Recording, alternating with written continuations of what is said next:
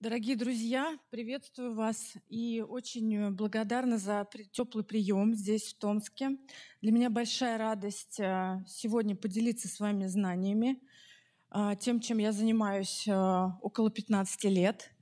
Вот. И мне бы хотелось, вот как я... У меня сегодня первая лекция, надеюсь, не последняя, в цикле знаний. То есть, да, это по разным городам будет происходить. И я очень надеюсь, что этот наш российский замечательный проект будет практически конкуренцией или перехлестнет TEDx. Так что давайте мы вместе все поддержим эту инициативу, которую наше государство организовало. А, я сегодня вам расскажу о том, что знаю очень хорошо. Знаю очень хорошо, потому что сама являюсь тревожным человеком и не понаслышке знаю, что такое тревога. А, несколько слов о том, каков мой путь на сегодняшний день. А, как медик я выучилась э, в первом меди в Москве. И вы знаете, вот если прочесть так все э, сплошняком, будет казаться, что очень плавная такая траектория, понятная, очень логичная, какая-то, может быть, даже э, амбициозная, чересчур, может быть, даже кому-то покажется. Но на самом деле на этом пути э, встречалось немало очень интересных загадок. Я вот что вам скажу. Э, то есть когда я пришла в медвуз, я вообще не знала, каким я буду врачом. Единственное, что мне хотелось, это помогать людям. И э, через годы мытарств и проб себя в разных дисциплинах, от хирургии до акушерства, гинекологии, офтальмологии, неонатологии даже, да, э, и каких-то даже отстраненных от непосредственно тела человека дисциплин, я случайным образом наткнулась на понимание, что мне всегда была интересна психика человека. И когда по воле случая э, у меня не случился автомат по психиатрии, я решила как перфекционист, что ну пойду я на кружок, там я отработаю полгода, и мне дадут балл, чтобы пятерку свою получить. И когда я попала на психиатрию, которая изначально, так сказать, не зашла, да, а, на кружке, я окунулась в то, во что и так была погружена с детства. Интерес к психике человека и а, как дальше выяснится именно тема тревожности. А, я захотела стать психотерапевтом. Но перфекционистское мышление уже отмечаем. Чтобы стать кем-то хорошим, нужно освоить что-то очень основательно. Да? Я пошла в психиатрию. Психиатрия — это описательная дисциплина, э, клиническая дисциплина. Э, в классической академической российской психиатрии понятие психотерапия не было на, те, на тот момент, когда я завершила вуз. И, то есть очень новые психиатры с психотерапевтами были. Я погрузилась в дисциплину, стала клиницистом хорошим, диагностом и практикующим врачом, который прописывает таблеточки. Где же здесь психология? Психология меня настигла дальше, а, потому что свою мечту, идею я все время тестировала, вот эту идею на жизнеспособность. И оказалось, что когда я защитила диссертацию по теме, которая меня сама нашла, вы наверняка знаете, что мы, а, темы нас находят, потому что они про нас. Есть такая, такое понятие в науке. А, тема моей диссертации была посвящена тревожным депрессиям и расстройствам личности. И этим я занимаюсь до сих пор, но с разных сторон. В моей жизни появилась психология, в моей жизни появилась нейробиология. Надо отметить, что в классической психиатрии пока нет основательного изучения нейробиологии. И то, что делают современные психиатры, это, так скажем, собственная инициатива и постоянная необходимость пополнять знания ну, самостоятельно. С этим мы и сталкиваемся, те, кто решают, так сказать, двигать науку в нашей стране в этом плане. Я очень себя надеюсь, что причисляю к ним или все остальные ко мне. А, и, наконец, э, когда я уже начала практиковать как психотерапевт, а, я поняла, что помимо э, лекционных моих, э, лекционной моей деятельности, педагогики, да, я доцентом пять лет была на кафедре первого меда, преподавала студентам и врачам психиатрию, которые повышали себе квалификацию. Мне э, ощутилось так, что моя миссия скорее просвещать не моих коллег, а людей вокруг, то есть снижать стигму в населении, чтобы понятие психиатр не было страшным, чтобы, видя живое лицо человека, ну, типа меня или моих, например, коллег, которые я к себе в передачу «Псилекторий», можете загуглить, посмотреть на YouTube ролики, приглашаю, что это живые, мыслящие, энергичные, простые, современные люди, которые очень любят то, чем занимаются. А, вот. И, собственно, популяризация пришла в, мою жизнь. И, наконец, моя практика, все расширяющаяся аудитория, с которой я работаю, моих пациентов, я дальше расскажу, что они, с чем они ко мне приходят, а, позволила прийти в мою голову идея о создании собственного центра в Москве. Он только открывается, не ищите сайт, не найдете, он в разработке. Итак, поехали. А, ну вот, собственно, я тревожная, да, которая еще с детства задумывалась о том, как же мне жить дальше. Видите, маленький ребенок, который э, немножко отличается от других. А, рассмотрим с вами, как обычно работают психотерапевты, да, с, э, чем сталкиваются сами пациенты, когда к психотерапевтам приходят. Во-первых, можно э, затронуть само расстройство.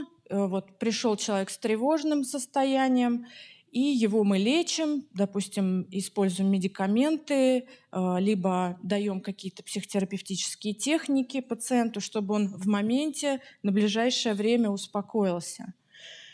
Так работает ряд специалистов, это существует. Да? Следующий шаг — это попрощаться с пациентом, с клиентом. А, гораздо класснее, так скажем, если специалист а, работает в глубе, ну или в глупе тоже можно, а, и так самоиронично сказала, когда изучается не только текущее состояние, но и все, что с человеком происходило до. Некая история, некая глубинная связанная логически система, которая становится понятна и самому клиенту, пациенту, и специалисту, и тогда, возможно, помимо текущей проблемы, которая, скорее всего, стала результатом предыдущих историй, э, развелась, ее разрешить. И получается, что э, в идеале, да, как это здорово, от чего лично я кайфую в своей работе, это когда пациент приходит ко мне с тревожным расстройством или с депрессией, а уходит с новой профессией или с обновленным взглядом на жизнь. То есть некий такой бонус, о котором он даже не подозревал. А почему тревога, почему депрессия? Почему тревога вообще сегодня актуальна? Да потому что это самые распространенные, если говорить про расстройства, состояния, именно тревожные, депрессивные. Связь тревоги и депрессии мы дальше с вами разберем. И я решила свой, свое внимание именно на этой категории остановить. А, по-разному можно относиться, да, там специалист лечит все патологии, там биполярное расстройство, шизофрению, э, всевозможные другие отклонения, разные, разный возраст берет к себе в практику. Я решила, что надо сузить и максимально сконцентрироваться на одном. И, как показывает практика, это работает.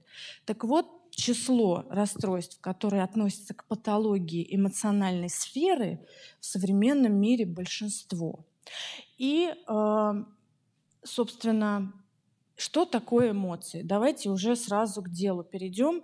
Я очень надеюсь сегодня, что из меня мое творчество вам выльет практически важную лекцию, практически важные знания, которые вы унесете с собой в будущее. Э, не, не просто какую-то теорию или популяризаторские справки из э, научной литературы. Нет. Давайте сразу за дело. Значит, эмоции — это то, на что мы опираемся в жизни, а, что помогает нам сориентироваться и принимать решения. Важная находка в нейробиологии — это то, что мы сначала испытываем эмоцию и эмоциональную реакцию, чаще всего телесную, а потом осознаем, что мы испытали эмоцию или вообще попали в какую-то ситуацию. Прошу ваше внимание на этом заострить. А, тревожная, тревожная реакция, именно реакция страха или неясного страха, то есть тревоги, зарождается в такой зоне мозга, как миндалевидное тело. Вы видите слева, а, она занимается процессингом, то есть сортировки стимулов, которые к нам попадают из разных органов и систем, да, визуальные, аудиальные, всякие прочие, э, сортирует информацию на опасную либо безопасную. По сути, если говорить о том, э, что есть тревога, то в своем таком изначальном виде это любая Э, э, любое ощущение небезопасности. По сути, то, то, тот, тот э, диапазон разнообразия названий, которые мы эмоциям, негативным и позитивным придали, все, всем этим занималась префронтальная кора и другие зоны мозга, которые называли эти эмоции, занимались нюансировкой, добавляли туда немножечко поэзии и так далее. Но по сути эмоцию мы чувствуем лимбическим мозгом, который погружен вглубь, да, вглубь под корой головного мозга. Она и сортирует то, что к нам приходит. То есть смотрите, о чем я говорю.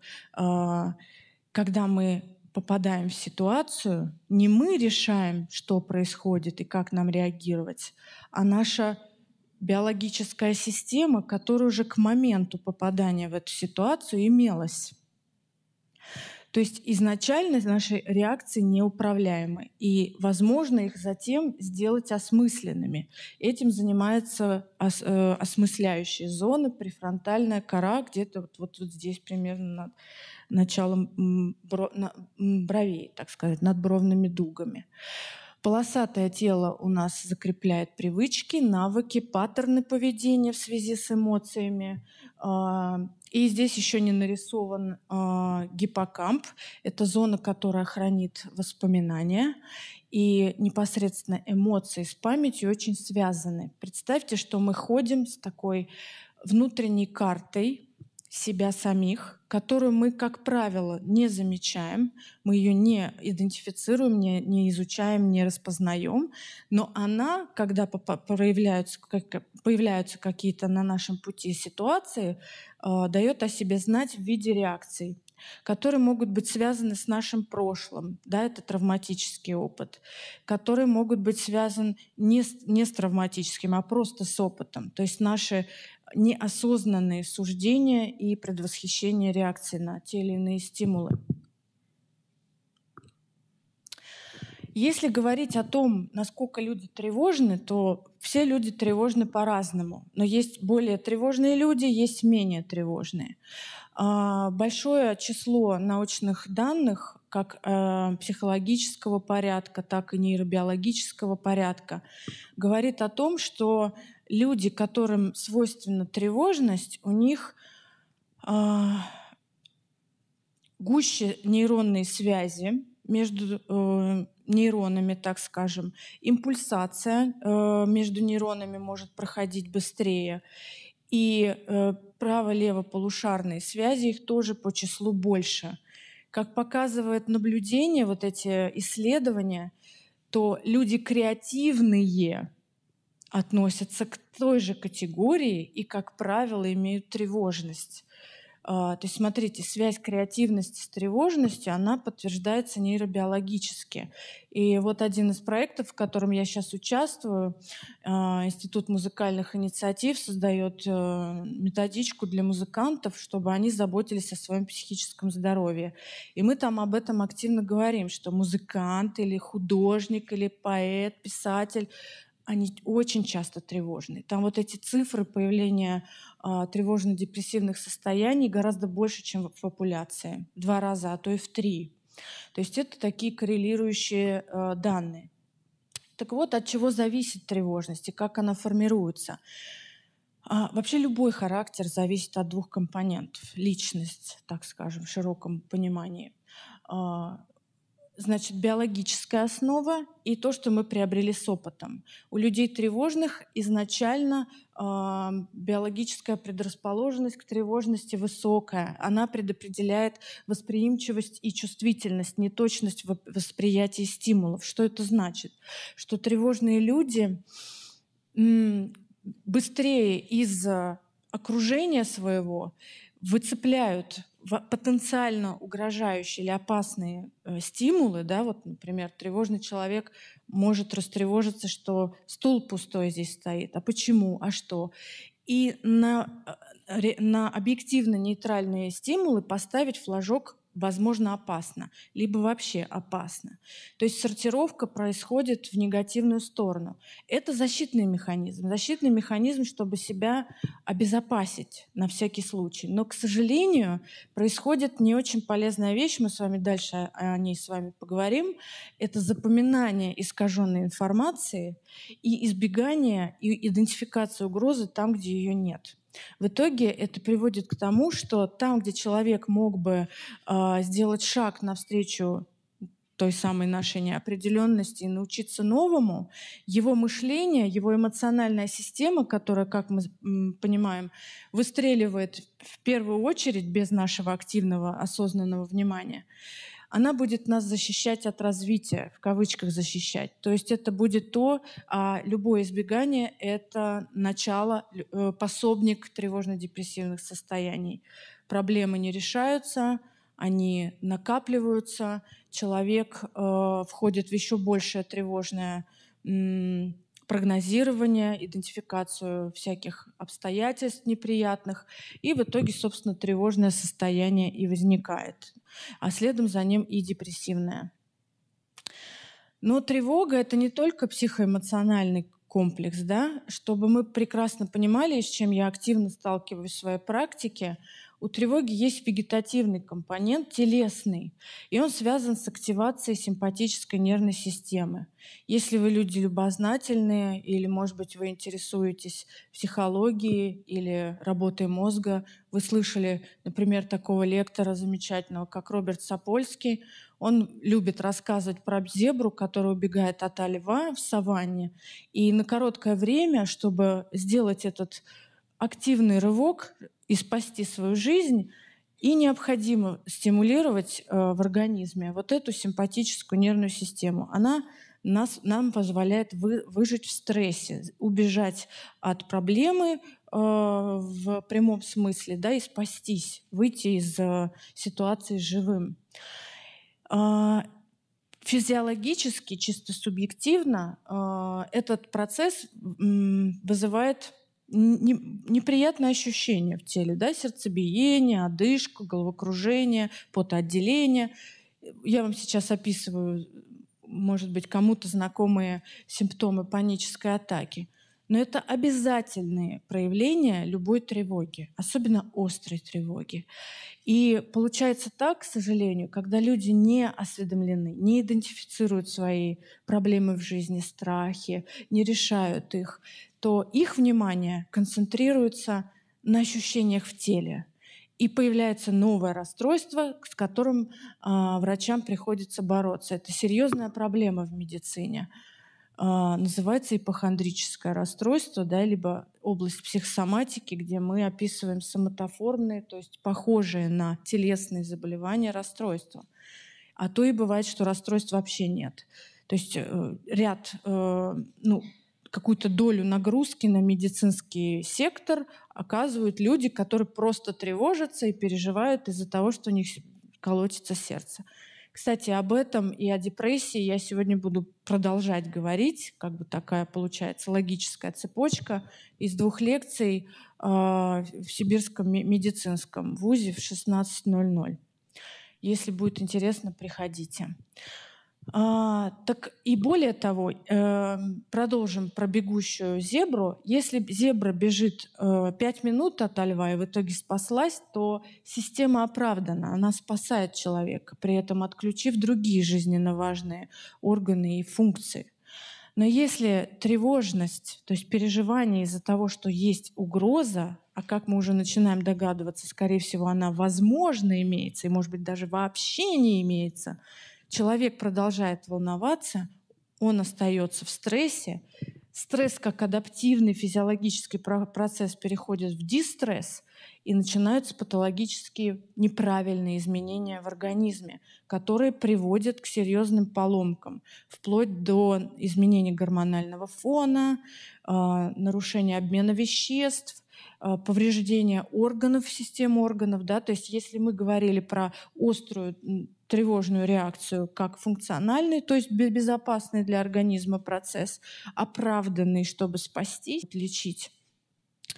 И вот получается, что тревога как эмоция, которую мы еще не умеем распознавать и что-то с ней делать, очень рискует в неосознаваемом уме человека, организме перейти в хронический стресс, на медицинском птичьем языке это называется дистресс, и в любое из этих расстройств, э, спектром которых я занимаюсь. Я вам честно скажу, иногда вообще невозможно понять, чистая депрессия перед вами, чистое тревожное расстройство или это чистая психосоматика. Таких чистых вариантов не бывает. И э, поэтому это все про одно и то же, по сути, про систему мышления человека, в которой он не очень что-то идентифицирует и что-то не так делает. И мы с вами дальше разберем, что же не так. Ну, еще один слайд про психосоматику, чтобы вы оценили э, связь тревоги с телесными процессами и, возможно, запомнили это лучше – я привела одну из статей, их на самом деле большое множество, и не только у женщин это обнаруживается. Но вот когда когда-то я а, видела эту новость про а, госпожу Леди Гагу, что ей поставили значит, фибромиалгию, а это такое неприятное ощущение, когда болят мышцы в теле, в покое или в движении. Это очень неприятное самоощущение, оно связано с каким-то таким спазмом, тонусом в мышцах.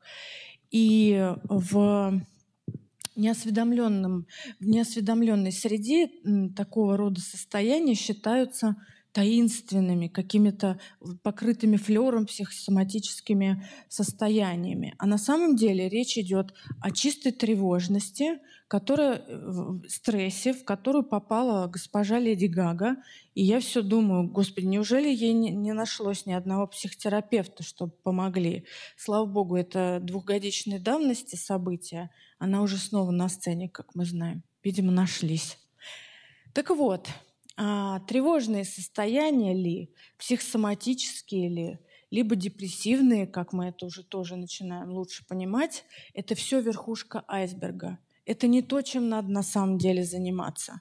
Если бы вы были врачом, и к вам пришел такой человек, вы бы сказали, ну понятно, мы сейчас вам панику вылечим, а, депрессию тоже уберем, а вот, голубчик, дальше следующий шаг – это разбираться с тем, что вас в жизни волнует, как вы дошли до жизни такой, сформулировали бы, какая это жизнь, и начинали бы с ней что-то делать. Это я про роль психотерапии уже говорю. То есть всегда э, тревожное и депрессивное состояние, любая тревога — это что-то нераспознанное, нерешенное, скорее всего, накопленное за счет нераспознавания и избегания, как итог, и в итоге, возможно, заблуждений по поводу тех или иных вещей в жизни — Сейчас будем с вами примеры всякие разбирать, яснее поймет, поймется, так скажем. Значит, то, что приводит к неприятным состояниям, которые мне приходится и моим коллегам лечить, а, это прежде всего мыслительный такой паттерн, который называется avoidance, да, избегание. По сути, человек либо предполагает что-то, что его ожидает, и не делает дело, да, чтобы себя развить, что-то там понять, либо он просто вообще не догадывается, потому что, знаете, вот э, туда и не думал. И по сути получается, что тот, та сфера, за которую человек не заглядывал, и есть неопределенность. Э, неопределенности э, боятся большинство, я скажу прямо, все боятся, те, кто попадают в итоге к психотерапевтам и психиатрам, А, и что это такое? Неопределенность — это когда мы не знаем, что нас ждет. И по этому принципу э, можно поделить людей, например, на три э, категории. Они условные, я надеюсь, э, так вот на предвосхищение, если подумать. И, скорее всего, это, эти принципы потом нейробиологически, биологически подтвердят. Значит, избегание и неопределенность. Сейчас это будет дальше, но я вам кое-что еще покажу. Вот. А давайте мы сейчас выйдем из этого погружения в психологию, паттерны мышления, там принципы осознавания чего-то. Возьмем просто бизнес-литературу. Возьмем то, что происходит в, окружении в нашем, да, в том, что э, экономисты, например, пишут. Вот господин э, Насим Николас Талиб написал две книжки. Первая была «Черный лебедь», он рассказывал про то, что вообще-то хаос надо любить. То есть неопределенность надо любить. И тогда вам будет счастье. Это вообще необходимый навык э, любить неопределенность, говорит э, Насим Николас Талиб. Вторую книжку еще толще и основательней он написал про антихрупкость, которая с первого понятия, не, с первого приближения непонятно, что это такое. Я вам сразу скажу, он имел в виду пластичность, пластичность мышления, адаптивность мышления, да? Мы с вами дойдем до этого. И вы знаете, поразительная вещь. Он пишет, что это нужно, но вот нигде не написано, как этого достичь. И э, я бы дала, если бы я дала моим пациентам, которые из дома выйти не могут, вот эти книжки из-за тревоги выйти не могут из дома, вот эти книжки, чтобы они их почитали, я думаю, э, они разберут на страничке, чтобы окна заклеить, так и сказать, дует. Закрой окно, а то жизнь дует, понимаете? Им вот это вот представить даже сложно, что э, вообще неопределенность можно любить. Итак, как выглядит типичный самый-самый тревожный человек, которому, скорее всего, уже нужен, нужна помощь? Я этот принцип называю, э, во-первых, мы с вами сейчас рассматриваем. Описательная часть была заложена в моем, моей диссертации. Значит, э, представь, пред, понятие такое я модель придумала. Называется модель тревожной бабушки. Э, смысл какой? Вот вы внук или внучка нашей гипотетической тревожной бабушки. Мышление такой бабушки построено таким образом.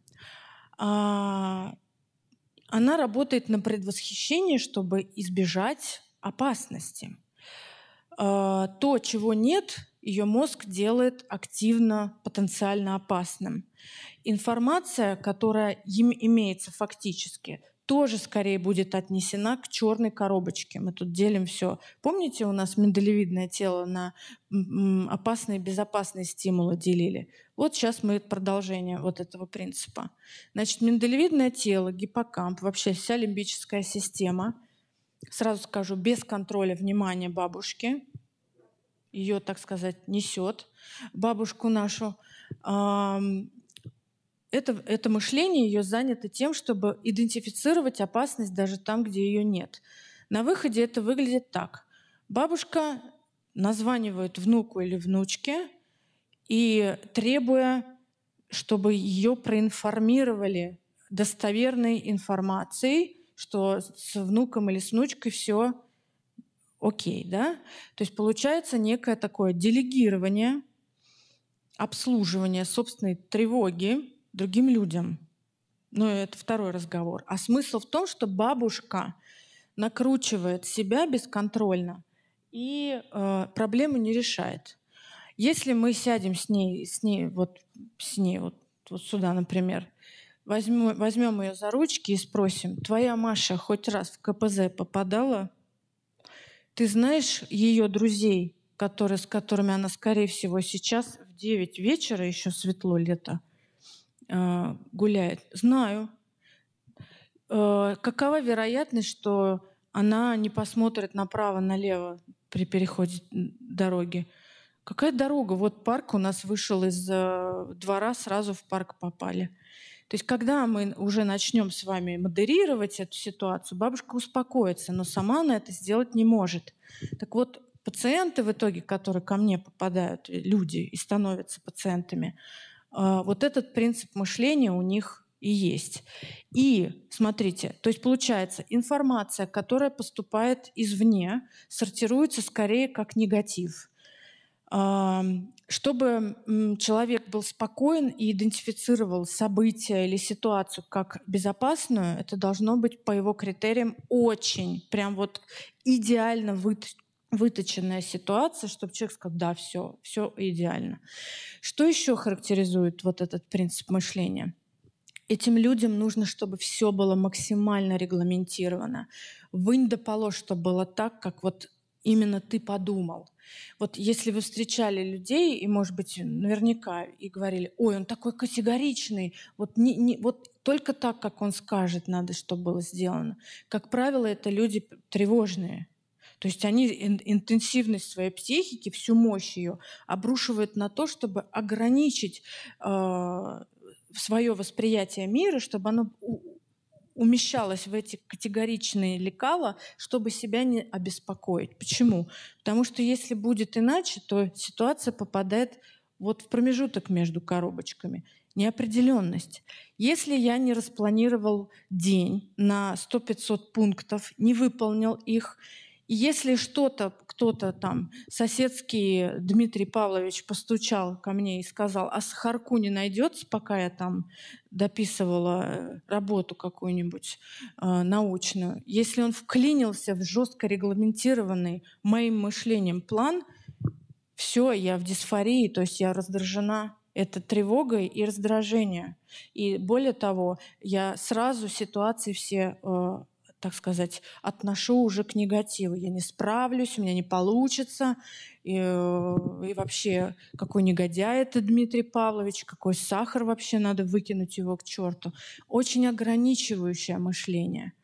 А, и, то есть, с одной стороны, мышление человека, пытаясь все регламентировать, а, пытается управлять этим хаосом, этой неопределенностью. Но именно этот принцип и лежит в основе того, что это будет неэффективный паттерн. Он приводит к избеганию, к обновлению системы, к возможности добавить в систему что-то новое, что эту систему разовьет. Да? Вот. А, это крайний такой вариант, уже категоричный. По сути, это модель Э, человека в глубоком неврозе, вот когда мышление так возникает. Если взять э, пациента, помните, я упоминала, что там есть у меня кто из дома выйти не могут, они вот уже так мыслят, а могли изначально мыслить вот так. Эту модель можно лучше представить себе на модели очень исполнительного, пунктуального бухгалтера, который на своем месте работает уже более 15 лет.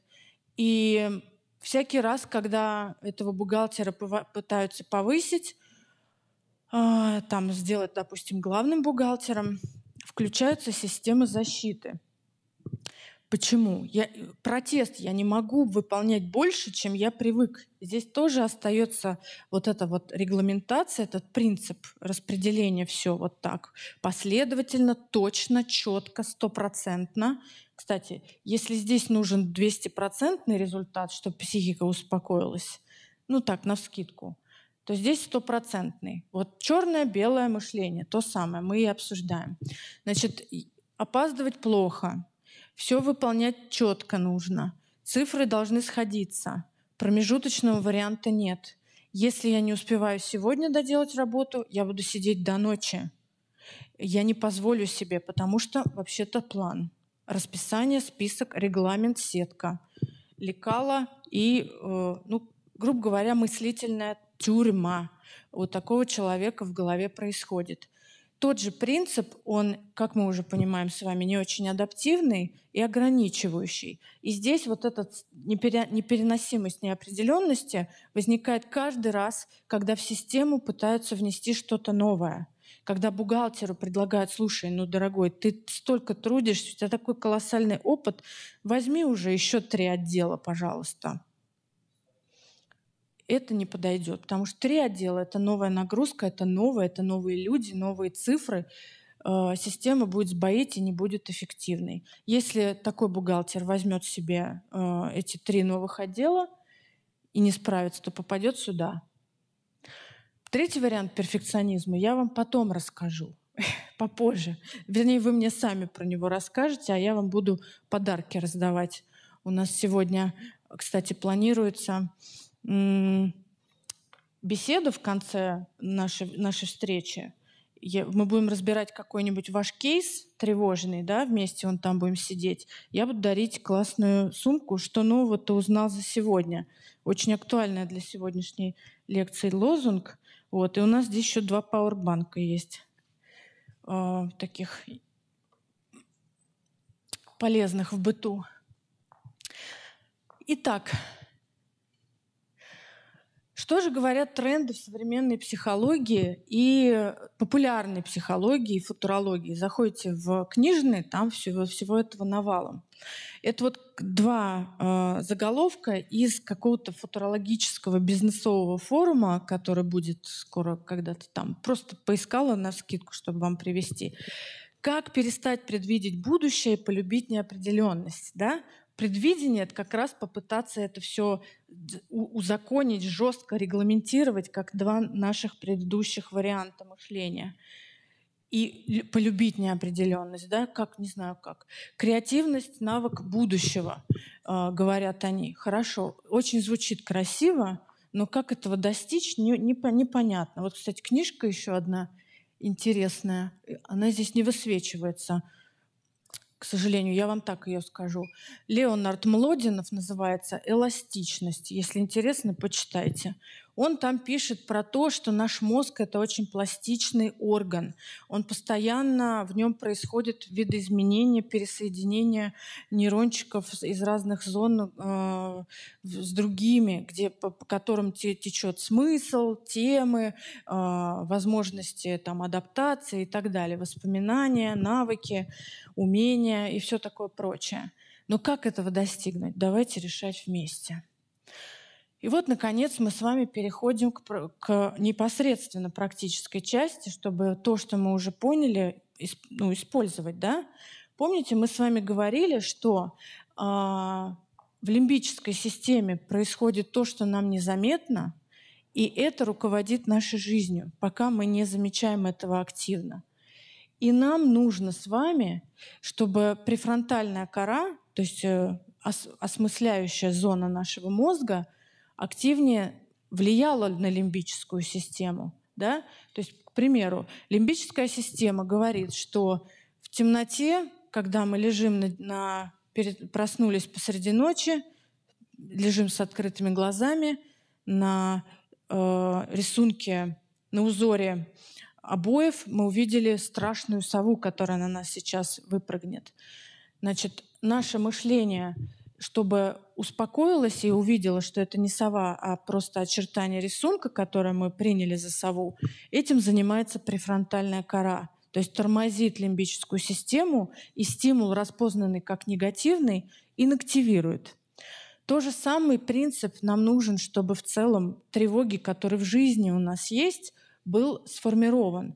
Ну, например, там, вас волнует, как вы реализуетесь в жизни, или вас волнует, что о вас думают родители, или вас волнует, э, как вы сдадите там сессию и так далее. Это не сова на э, потолке или стене. Это нечто другое. Но чтобы успокоиться, принцип тот же. Давайте рассмотрим, какой. А, вот здесь, кстати, про техники осознанности говорится. Наверняка слышали вот mindfulness, медитации. Эм, слышали, ребят, такое? Может, кто-то практикует?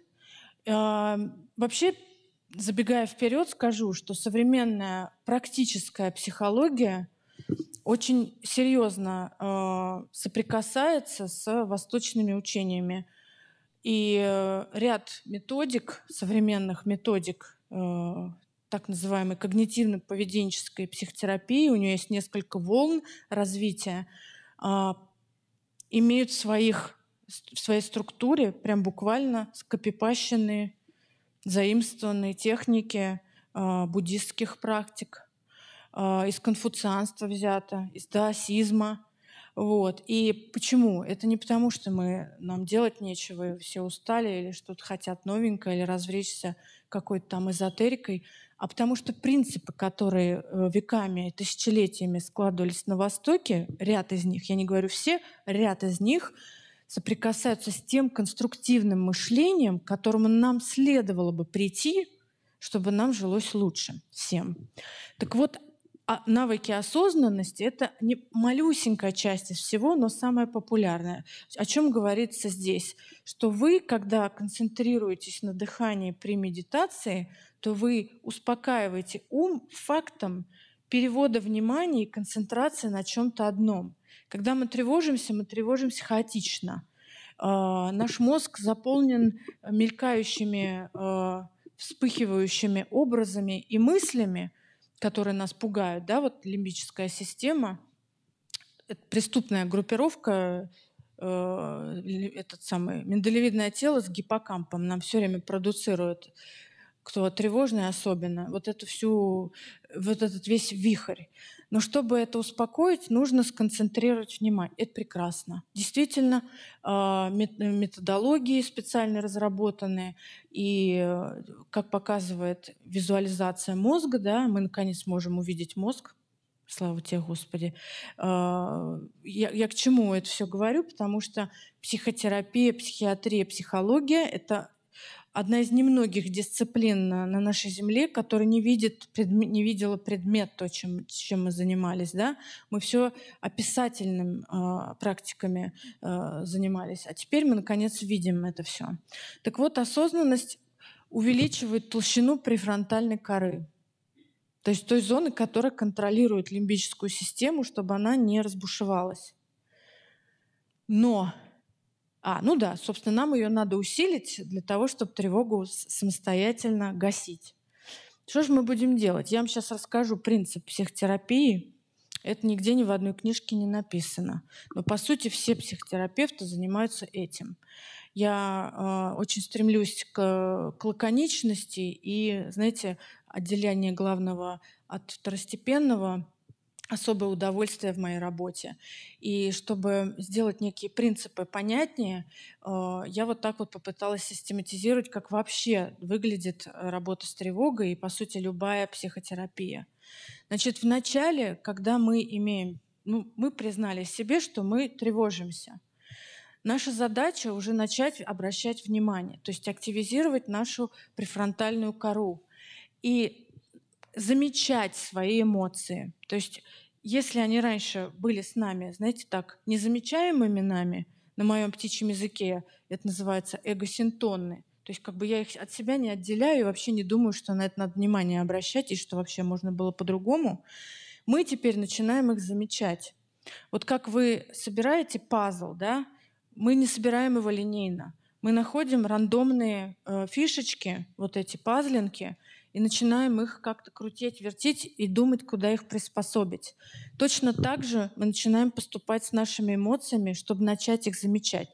Вот здесь, кстати, где у нас товарищ, я хотела вам просто такую немножко э, историю добавить, воображаемую. Представьте, что вы десантник, вы спустились на э, некую не, неизведанную вам, вами территорию в темноте ночи. У вас есть в руках фонарик. Что вы будете делать? Что делают десантники, когда их спустили на землю? А?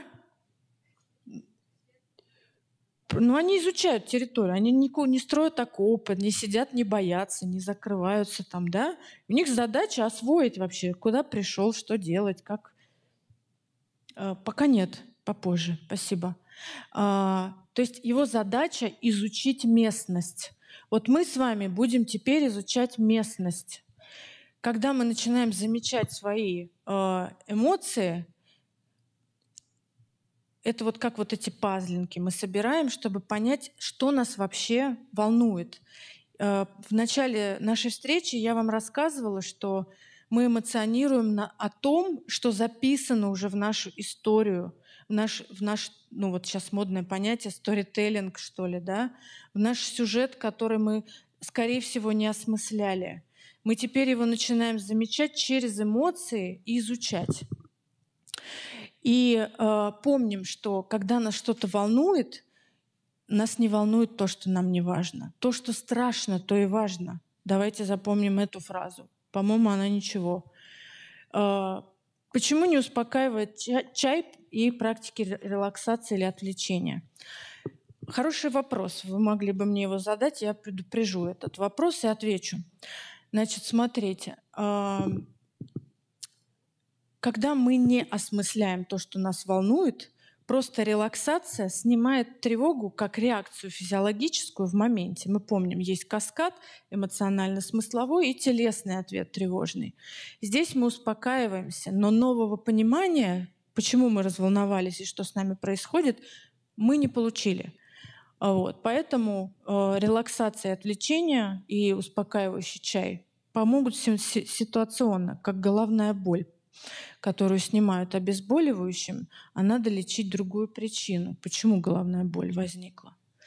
Следующий этап психотерапии тревожности и вообще в любой психотерапии – это когда вы начинаете систематизировать то, что вы э, понаблюдали в виде эмоций, и концептуализировать. Да?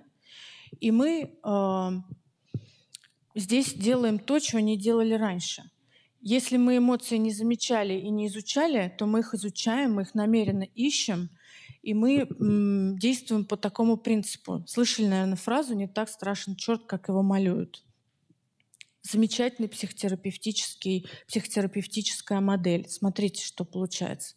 Я должен проделать некий путь по приближению себя к черту, чтобы на каком-то уровне я бы увидела, что черт не так страшен, без этого потенциально тревожного пути, да, если мы будем за закладывать ну, понимание, что ну, вот, в, поним в путь, что мы допущение, что мы будем волноваться, мы смелее этот путь пройдем. Но в итоге наша смелость с элементами тревоги в купе приведут нас к тому, что мы получим возможность информировать себя, что перед нами такое, и дать этому название. Я в конце приведу логическую модель принцип мышления, как работать с тревогой, и мы с вами пройдемся по нему вместе, вы лучше поймете, про что я говорю. Так вот, мы с вами изучаем, ориентируемся и действуем. То есть если лимбическая система говорит, не иди туда, не ходи, вообще тебе будет страшно, не бери ты второй отдел, ты бухгалтер, ты вообще как бы иди в свои рельсы, по старым рельсам езжай, одно и то же повторяй и добивайся четкости. Нет, мы говорим, я хочу понять новое, научиться э, чему-то более оптимальному. Мне надоела эта одна и та же рутина, и вообще я тревожный человек из-за из этих ваших рельс туда-сюда, обратно. Кстати, мы говорим про цепочки нейронов в голове, которые, вот как и мы вот эти квадратики рисовали, да, такие, как надгробные плиты, черное, белое, вот это все они также прописываются у нас в голове, и чем чаще мы повторяем одни и те же принципы, тем чаще они выходят к нам на помощь. Вообще мозг такой ленивый товарищ, он очень любит повторения, и чтобы все, на всякий случай нас защитить и так вот от э, нового себя отгородить и от возможных рисков, тем более если мы их активно на все флажки ставим, как на опасное, защитить нас — он будет нам предлагать старые сценарии. А наша задача — преодолеть старый сценарий. И на самом деле это новый навык. Это новый навык, который мы можем себе подарить. По, э, такая немножко ремарка. По сути, очень важный вопрос. Э, если, э, так сказать, категоризировать, грубо говорить, то у нас есть ну, два режима мышления, грубо говорю. Пусть на меня нейробиологи тухлыми помидорами не кидаются. Я это называю один режим с лампочкой, второй без. С режим мышления с лампочкой — это когда мы... А, сначала без лампочки я пишу. Без лампочки — это когда мы думаем, как думается, и делаем, как делается. То есть мы не, под, не поддаем осмыслению, то есть проведению через нашу префронтальную кору, анализ вообще вопрошающий. Так мне делать, не так, куда я иду, что, что мне надо здесь понять. Вообще, то ли я понял вообще, когда зашел в эту ситуацию. Этого не происходит. Человек руководствуется старыми выстреливающими мышлениями, которые подсовывает лимбическая система и память, и все. Вот. И это, это режим мышления без э, лампочки, без осознанности, без критики над, без осмысления того, как мы мыслим. В грубом э, приближении это что-то типа того мышления, когда без э, знаний, без вот этого вот без эстетики, что ли, мышления, без управления этим мышлением человечество могло верить в заблуждение очень активно, как то ведьмы, э, там еще всякие предсказания и так далее, и так далее. Да? То есть это вот, вот та эпоха мышления. Мы же сейчас с вами переходим в ту э, эпоху за счет активно развивающихся индустрии, цифровизации, увеличения скорости нашей жизни, где навык осмысления того, как мы э, мыслим, очень важен. И он и есть, то есть подвесить лампочку, то есть под, подсветить вот этой вот фонариком нашего десантника то, как мы, мы думаем, и э, начать это как-то понимать, осознавать, концептуализировать. И это навык. Это называется метакогнитивный навык. Мета по-гречески над, когницо — это мышление познавательной функции.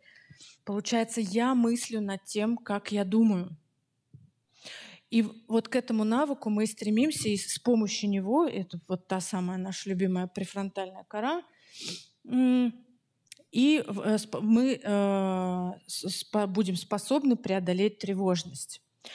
И навык, как и любой, он формируется за счет повторения, интенсивности, частоты. Да? Все знают, что пресс не накачать в один присест. Э, это делать нужно регулярно. Регулярно идти навстречу с этим чертом, которого малюют и который не так страшен. Регулярно задавать вопросы, а что я сейчас почувствовал, что я понял, как я сориентировался, что я еще здесь должен понять. Ну и, конечно, через понимание при, приходит успокоение. Вот. И, по сути, э, вот эта пластичность, о которой говорят нейробиологи, адаптивность, о которой говорят психологи, антихрупкость, о которой говорят футурологи, экономисты, философы. Да? А, это как раз вот этот навык распознавания собственного мышления, его корректировки за счет осведомленности, что же происходит в ситуации, в которую мы попали. И пока мы работаем с тревогой, с людьми, и они потихонечку начинают сами собой руководить, не так руководить, как бухгалтер по жесткому регламенту и рельсам, шаг влево, шаг вправо, расстрел, черно-белое, а совершенно по-другому, когда через э, понимание тонкости устройства, ситуации, в которой ты попал, и как ты сам э, себя чувствуешь в этой ситуации, и что вообще происходит э, у тебя внутри, да, то это нам приносит иное понимание контроля контроля, который не э, внешний, да, вот в виде этого регламента, правил, расписаний, э, упорядоченного какого-то там плана, э, а совершенно иное. Через понимание мы формируем вот эту иерархию дел, последовательность событий, оцениваем самих себя, да, свою оценку адаптируем, модифицируем, изменяем. И что, что говорят вот в таком режиме мышления люди, которые все это проделывают? Больше знаешь, лучше спишь. Люблю эту фразу. Тревога меня развивает, да, тревога — двигатель прогресса. Я не могу этого сейчас понять, но скоро разберусь, говорят люди, которые в этом ключе уже. То есть там нет этой категоричности. Раз я не понимаю, значит, я этого не пойму или не буду этим заниматься вообще. Люди начинают больше себе доверять они не с аутсорсинга себе заимствуют эту безопасность, как бабушка, которая внучка на самом деле была в ответе за ее тревогу, или как бухгалтеру, у которого план был в ответе за его тревогу, а я сам через понимание ситуации, в которой я нахожусь, и э, через понимание собственной системы, своей личности, так скажем. Вот и получается стрессоустойчивость, пластичность и защита расстройств, от расстройств. Почему я здесь Будду нарисовала? Вот мы пазл собирали, да, помните, как наш э, десантник карту собирал? Вот, пожалуйста, он собирал карту нелинейно, поочередно, хаотично. Это нелинейный процесс, то, о чем я говорю. Как выглядит хороший перфекционизм? Хороший, плохой, плохой и злой мы с вами описали. Есть предположение, ребят? Помните вот по системе этих э, двух коробочек, как мы здесь с этими э, категориями поступим? Есть предположение? Ага. А, очень частый ответ. Спасибо. Сейчас прокомментирую. Есть еще варианты? Да. Что-что? Чуть погромче. Александр, у меня тут диалог с аудиторией. Можно микрофон? И очень, кстати... Э, да.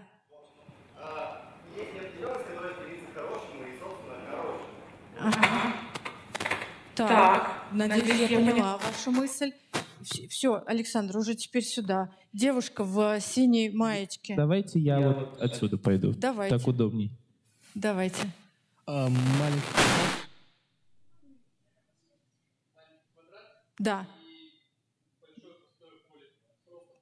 Просто поле. Вообще пустота. Вообще полная неопределенность, да? Так, хорошо, отличный вариант. Сейчас все прокомментирую. Давайте дальше. Тоже хороший. А, будет только белый? Ну что какой-то оптимизм Раз. такой. Все так. вообще, все идеально. Кто еще? еще? В левом варианте возможен и черный, и белый. В какой в левом? Ну, в смысле, справа есть хороший исход, ага. а слева и черный, и белый. Да. То есть вариации позитивного итога возможны. А почему? Как вот так вот философский Но... вопрос так как угу. мозг уже хороший вариант рассматривает, так. то из любой ситуации, то есть мы допускаем вариации, ага. то есть и то, и то может быть отхождение от плана. Соответственно, любой исход может быть либо там полуположительным, полуотрицательным, Полу... либо, ну, либо в 100% туда-туда. Так все-таки остается чернота, белота? Да, конечно. Ну, опасения есть, и боязнь, ага. она никуда не делась. То есть как бы мы себя без... обезопасиваем, но да. даем возможность совершить ошибку. Супер. Правильно. Еще, еще варианты. Кто еще? Какие? Я сейчас все прокомментирую, ребят. Есть? Ага. А, ну, может быть, черный квадрат будет в белом находиться. Внутри белого? Внутри белого. Малевичу надо было идейку подкинуть. Неправильно он человека понимал. Хорошо, давайте я прокомментирую, ребят. Смотрите, действительно, поскольку мы э, начинаем более дифференцированно мыслить, и мы, присутствуя в моменте, получаем больше информации, у нас э, границы черноты, белоты размываются. И чем гуще, тоньше наше детализированное понимание, которое служит тому, чтобы мы успокоились, тем меньше промежутки между черными и белыми квадратиками, и в итоге они превращаются в градиент — Неопределенность, ощущение неопределенности, страх неопределенности, который по сути по результатам своим и являет тревогу, исчезает, потому что мозг научился постоянно уточнять и дополнять свое понимание. И в процессе, когда он это делает, он уже успокаивается, даже если не достиг идеального понимания белого или черного и не отнес еще ни туда, ни туда эту информацию. Так что все ваши варианты очень близки. И в итоге согласны, что такой вариант красивый, да? Вот, будем на него ориентироваться. И вот здесь вот количеством стрелочек как раз показывается то, что густота информации увеличена. И э, получается вот эта вот переходность, да, такая, нет не, вот этой неопределенности, она все время стремится к нулю. И вот мне очень понравилось, как молодой человек сказал, что поскольку понятного становится больше, я больше понимаю, что я могу эту неопределенность терпеть. Помните, в первых э, двух вариантах распределения информации мы говорили, что тревожной бабушке нужно 200% гарантий, как от холодильника. У меня есть пациентка одна, она говорила, она с ее разрешения говорю, она рассказывала, вы знаете, я вначале, когда только к вам пришла, я мужу своему говорила, ты мне должен дать гарантии, что у нас э, тревожная, да, да, что у нас должна быть дача, квартира, у ребенка возможность учиться в Британии, иначе я за тебя не выйду. Он от нее закрывался на кухне, нервно курил и кричал, я тебе не холодильник, чтобы гарантии давать. Вот. Ну, это вот вариант тревожной бабушки, еще один пример. Так вот, мы переходим, там было 200%, то есть эту женщину надо было так э, успокоить, чтобы она в белую э, коробочку положила это, этот весь смысл. Каждый понимает, как хочет. Ей нужна была информация о гарантиях материальных, э, коллеги. Э, вот. И, э, соответственно, во втором варианте про бухгалтера нам нужны были стопроцентные э, гарантии, опять-таки, так скажем, потому что все категорично, то есть дело должно быть сделано идеально по плану. Здесь вот как мыслит креативный, осмысленно тревожный, деятельный и постоянно развивающийся человек, у него распределяются проценты таким образом. Примерно 70 на 30 или 65 на 35.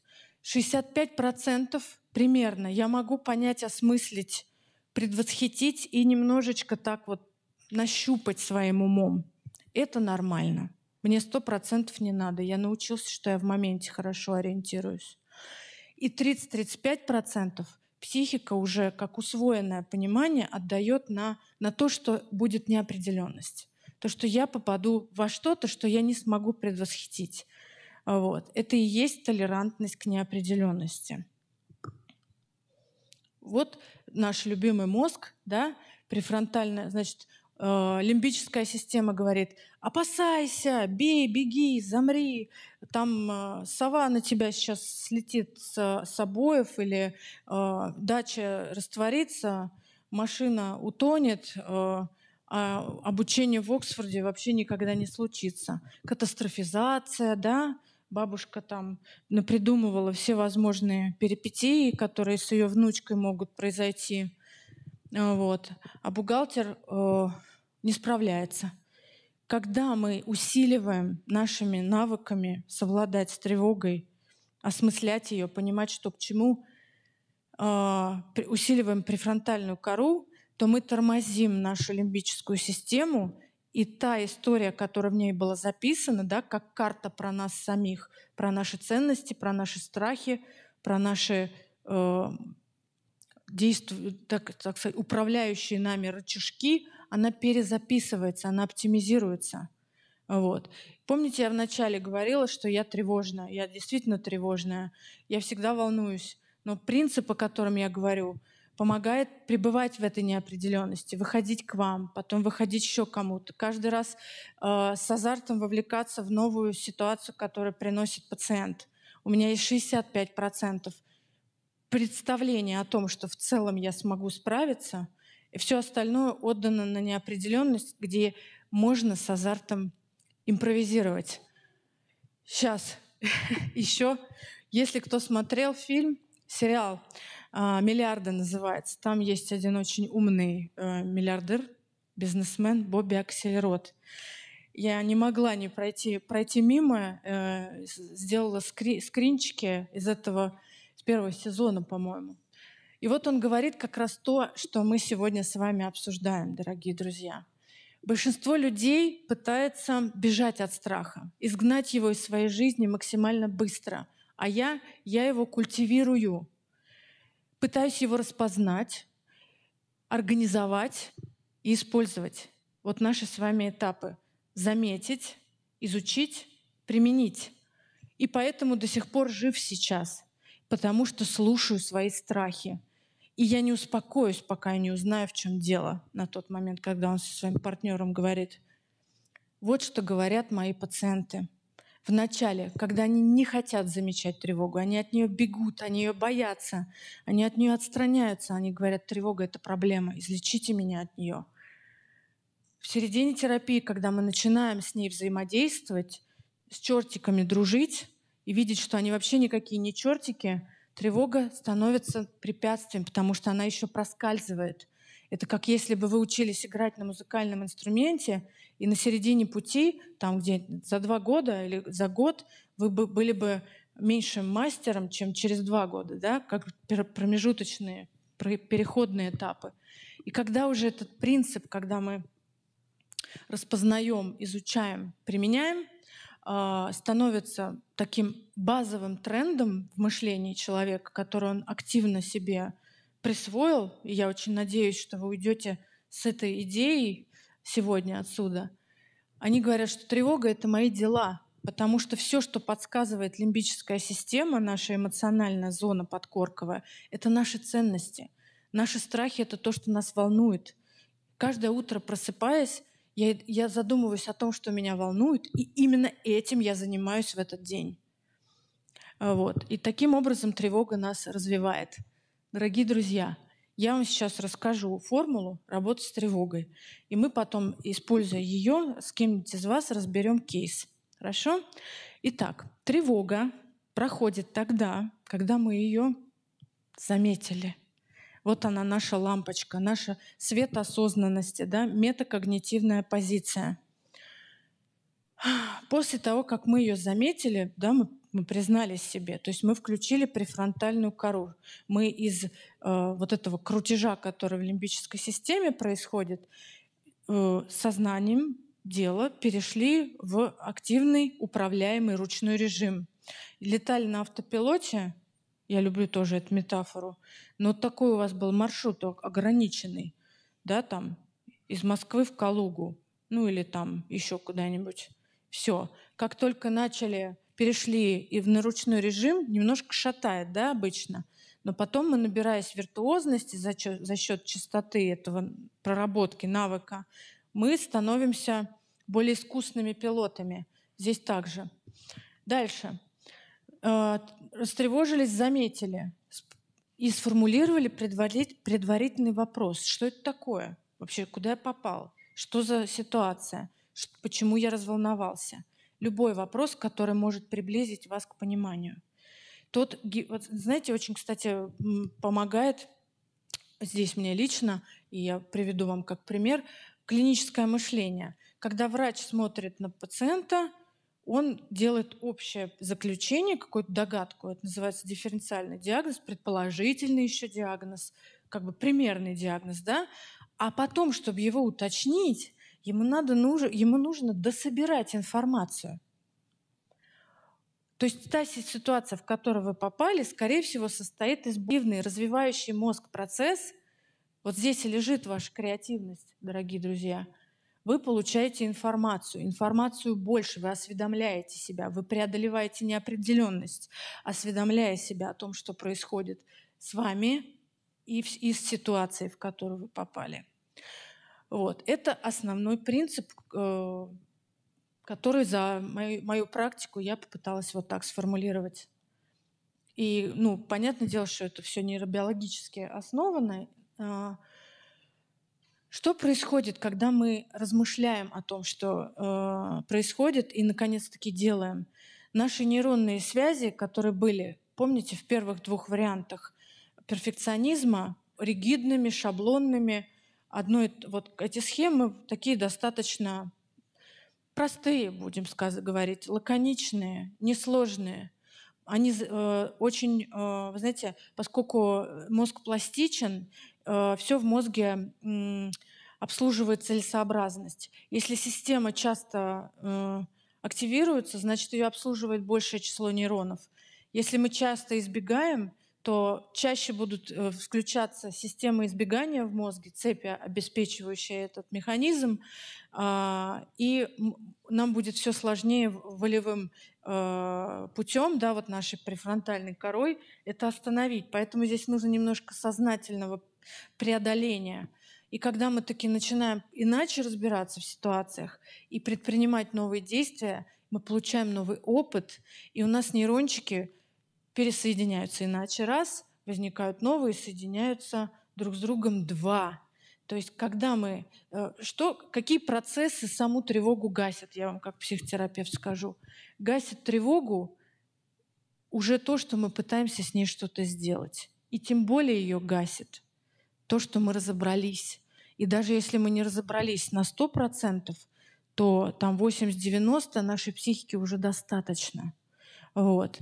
И классно, если вы придумаете такой вопрос, а этот навык усовершенствования постановки вопросов, он у вас будет улучшаться, да, он будет оптимизироваться, если вы будете этот навык развивать. И вы быстрее будете ситуации щелкать как орешки, вы будете быстрее подбирать нужный вопрос, чтобы успокоиться.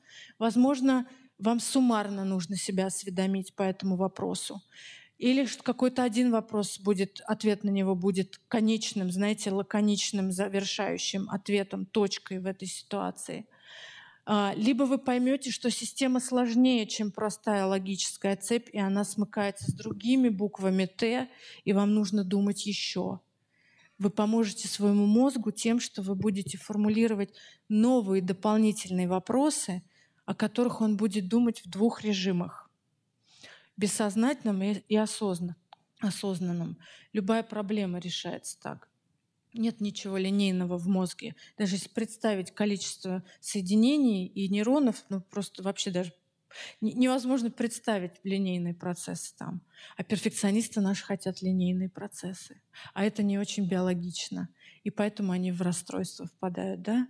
А мы как раз про, про креатив, про неопределенность, про 65 и 30 процентов. Дорогие друзья, используйте эту формулу. Надеюсь, она вам пригодится. И напоследок Рене Декарт.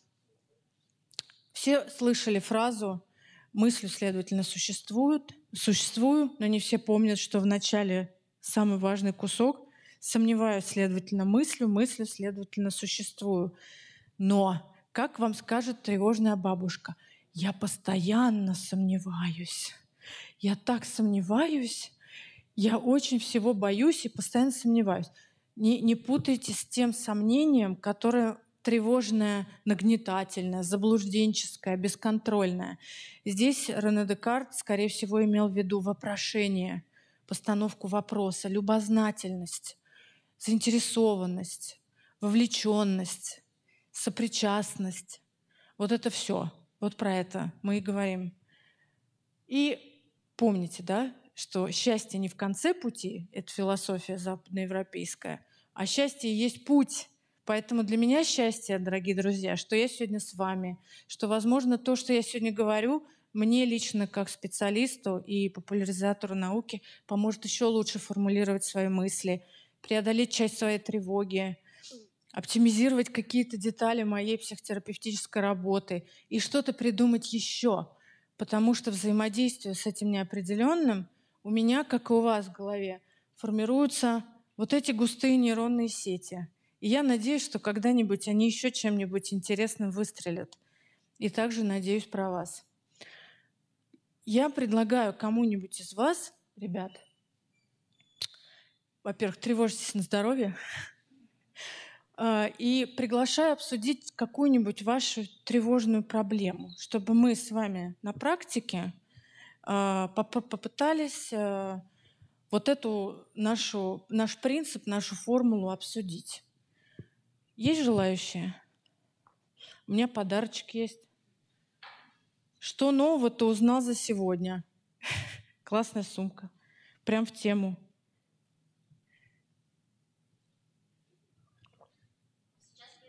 Вот молодой человек, еще один. Ага, вы оба?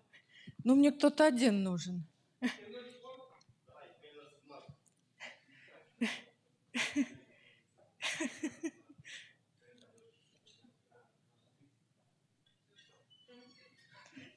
Прошу, садитесь. Так, э, давайте я верну вот эту штучку. Может, она нам поможет. Хорошо? Как вас зовут? Садитесь, пожалуйста. Можно микрофон нам? Садитесь, пожалуйста. Во-первых, благодарю за смелость и заинтересованность. Для меня прям это подарок. Мне очень приятно. Как вас зовут? А, здравствуйте, меня зовут Илья, Илья. собственно. Очень я приятно. учусь на первом курсе ОРМ. Угу. А, вот, и сейчас у меня вот такая небольшая напряженная ситуация есть в том, что а, я делаю проект, собственно, а, делаю скульптуры «Ботанический сад». И mm-hmm. вот у меня вот такая очень большая тревога с тем, что мы не успеваем по срокам, а надо ждать еще две скульптуры. Mm-hmm. Так, смотрите, вы заявили проблему, да? Вы ее назвали. По сути, вы э, первые две части в формуле сделали уже. Следующий, следующий этап — это изучение системы, как она устроена. А, значит, вот я буду задавать вопросы, и мы на примере этого будем понимать, вот я их буду придумывать сейчас, чтобы лучше понять, что вас волнует, и, возможно, вам подсказать. То же самое учатся делать э, пациенты на психотерапии. Какой срок, кстати? Срок, собственно, до конца июля, насколько я помню. До конца июля. Сколько скульптур? Еще две скульптуры нужно сделать, но, к сожалению, там объем работы очень высокий, ага. и делаем мы их из металла, поэтому там и сварка, и очень много всего. Это чисто технически неосуществимо за а, полтора месяца. Технически это осуществимо. Проблема в том, что у нас нет сварочного аппарата, так что если у кого-нибудь есть сварочный аппарат, то милости прошу. Хороший способ, да. Краудфандинг, замечательно. Так, хорошо.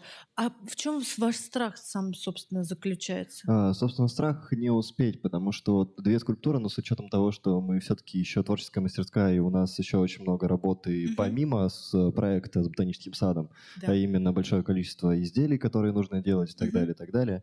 А, собственно, задача успеть как-то распределить время, и это очень трудно, трудная задача, особенно с учетом того, что у меня знакомый вот, ну, коллега сломал ногу.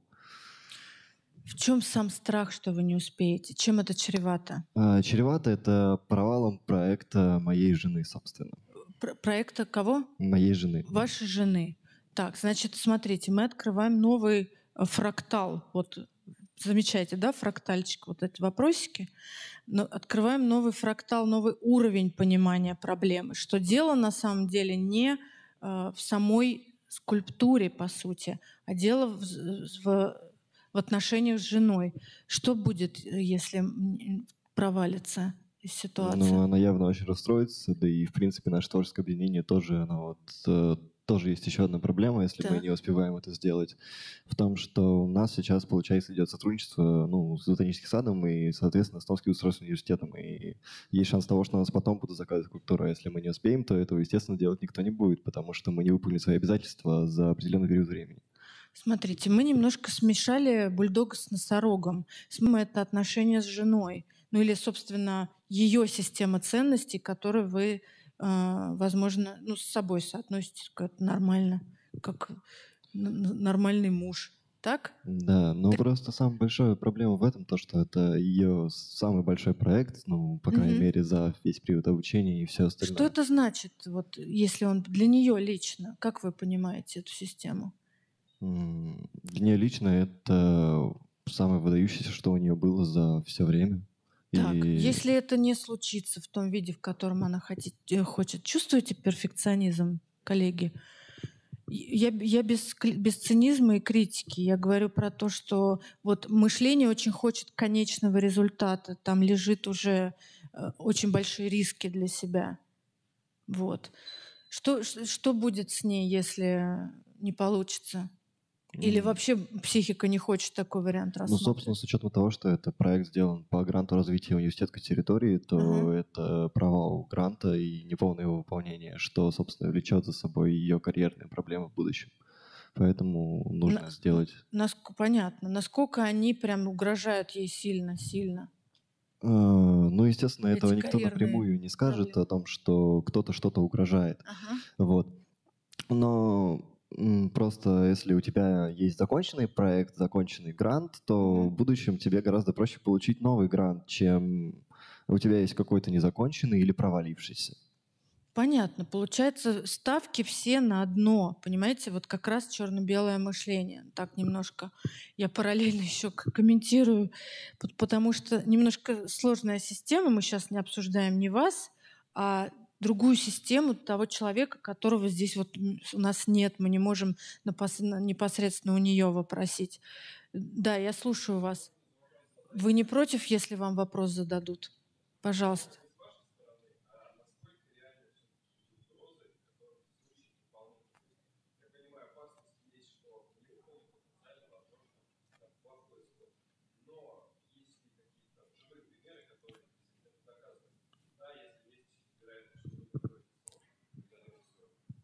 Плачевно, ну, в вашем случае, но есть же вероятность, что этого и не будет, и если там вы условно просрочите на неделю, на месяц, это будет приемлемо для угу.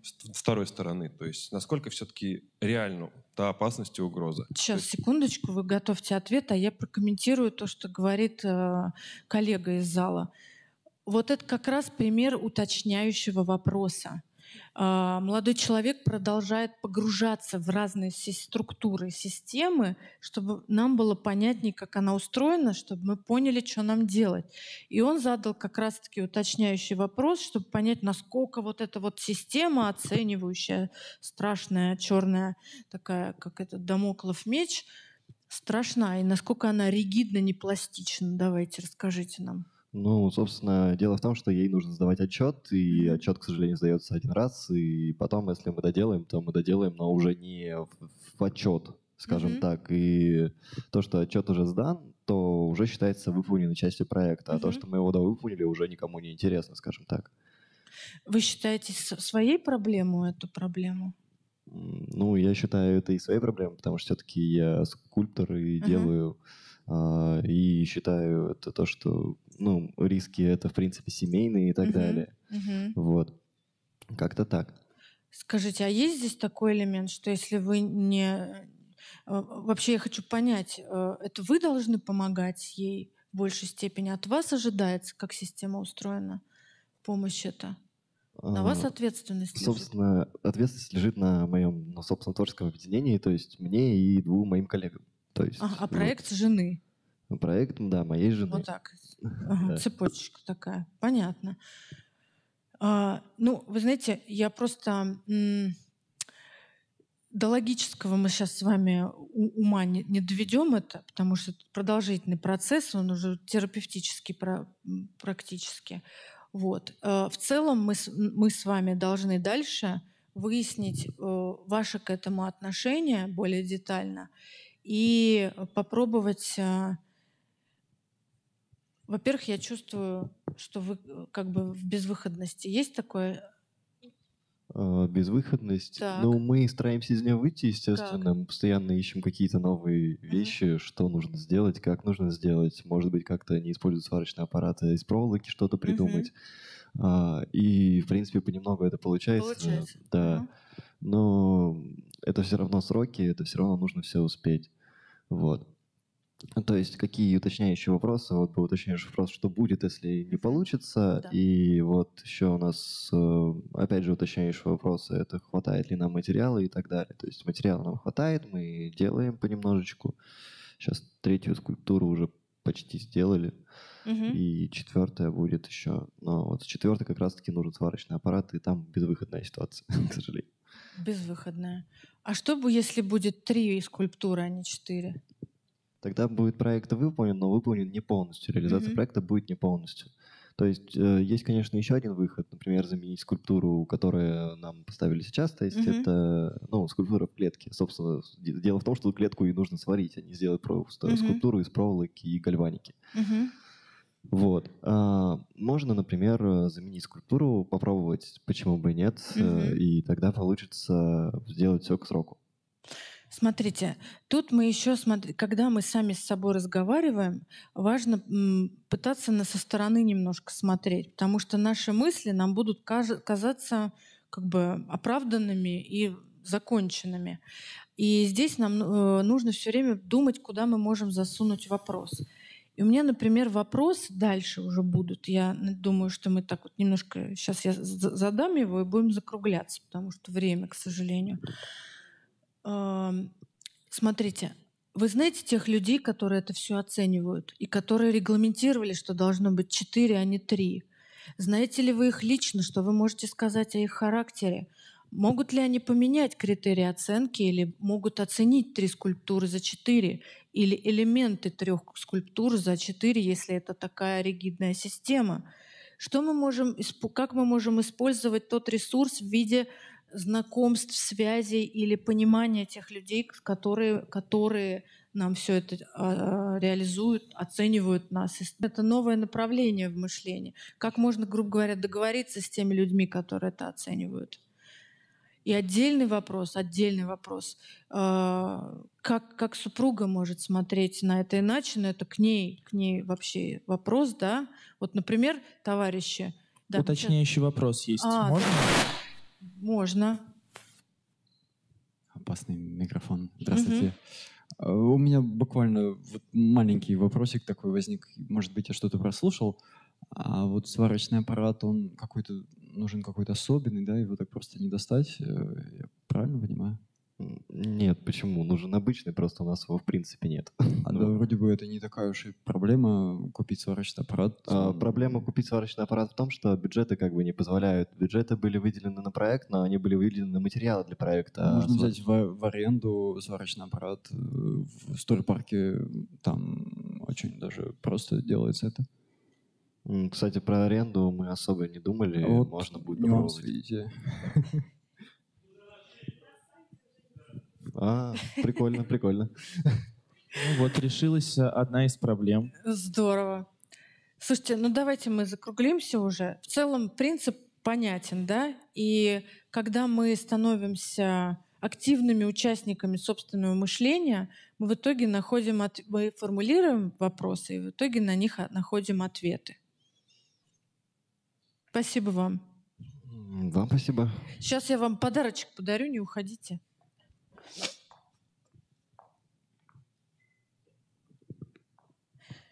Я, наде... я думаю, сварочный аппарат сюда не поместится, но премия, которую вы получите, да, там или награда, точно. Спасибо вам.